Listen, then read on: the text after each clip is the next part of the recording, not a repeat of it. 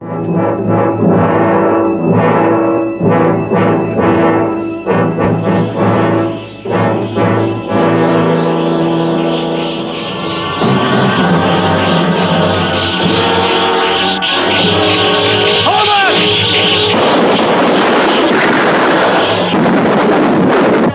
may be witnessing the beginning of an era that'll mean the complete annihilation of man. Annihilation?